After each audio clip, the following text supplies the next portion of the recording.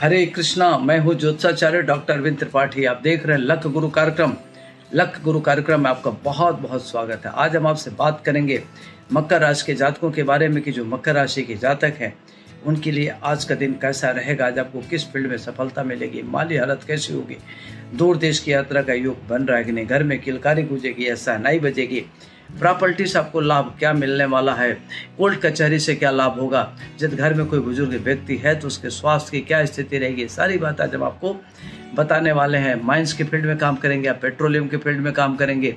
मित्रों की क्या भूमिका रहेगी? पुस्तक लेखन करेंगे या विदेश यात्रा कर जाएँगे? या राजनीति में लाभ मिलने वाला है? या कोई स्ट्रेंजर से लाभ मिलने वाला है? या अचानक आकाश वृत्ति का योग है?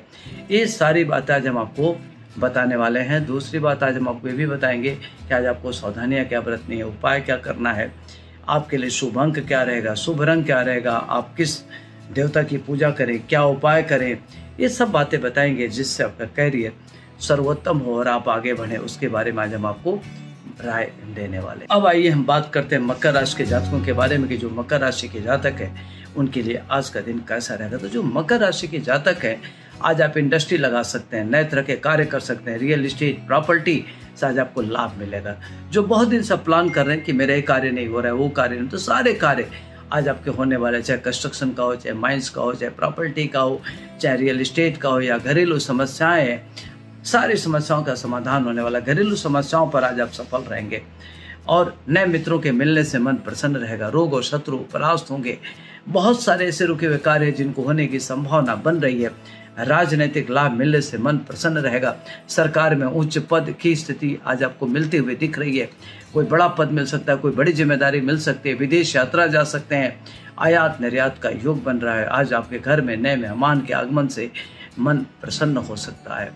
और बहुत सारे कार्य, जो बहुत दिन से चिर प्रतीक्षित हो, सारे कार्य संपन्न होते हुए दिख रहा है। आध्यात्मिक विकास का योग बन रहा है। प्रॉपर्टी इत्यादि में अगर पूंजी निवेश करते हैं तो आपके लिए बहुत ही अच्छा रहेगा। यदि कोई नया इंडस्ट्री लगाना चाहते हैं तो उसके लिए भी आज का दिन बहुत बढ़िया यदि आप टेक्निकल फ़ील्ड में एजुकेशन के फ़ील्ड में कुछ नया करना चाहते हैं तो आप कर सकते हैं, आपके लिए लाभप्रद रहेगा। पुराने मित्र मिलेंगे हेल्थ वेल्थ को लेकर के थोड़ी सी चिंता हो सकती है तो उस पर बहुत केयरफुल रहने की ज़रूरत है। अज्ञात व्यक्ति से किसी प्रकार का कोई डील न करें। भाई बहनों का सुख मिलेगा भाई बहनों से थोड़ा सा किसी बात को लेकर के मन मुटाव हो सकता है, लेकिन दोपहर के बाद सारी स्थितियाँ ठीक होते हुए दिख रही हैं।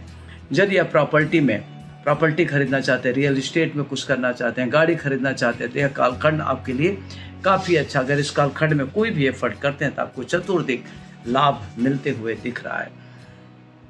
पत्नी से थोड़ा वैचारिक मतभेद हो सकता है, उनकी हेल्थ को लेकर के आपको चिंता हो सकती है तो इस पर विशेष अलर्ट रहने की ज़रूरत है। सावधानी क्या बरतनी है?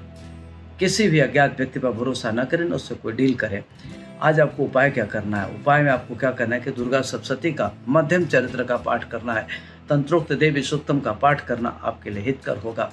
आज आपके लिए शुभ अंक है नौ और शुभ रंग है सफ़ेद। हरे कृष्ण।